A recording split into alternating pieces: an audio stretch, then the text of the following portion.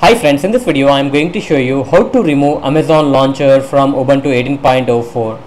On my desktop you can see the Amazon icon as well as when you click on the show applications inside also you can find the Amazon icon. To remove Amazon launcher from the desktop you need to open the terminal by pressing Ctrl Alt plus T and you need to run a simple command.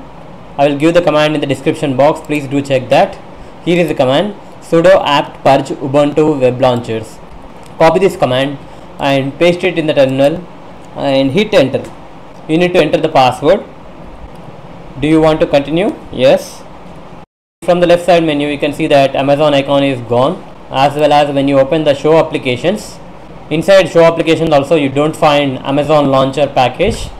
That's it guys. In this way you can remove amazon launcher package from ubuntu 18.04 Hope you like this video. Please subscribe to our channel. Thank you.